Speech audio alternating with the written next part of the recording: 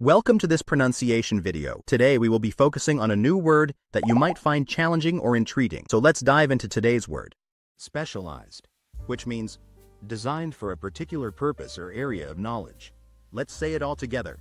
Specialized. Specialized. Specialized. One more time. Specialized. Specialized. Specialized. Thank you for joining us on this adventure in pronunciation. Remember, language is a journey, not a destination. Keep exploring, experimenting, and expanding your linguistic horizons. We'll see you next time.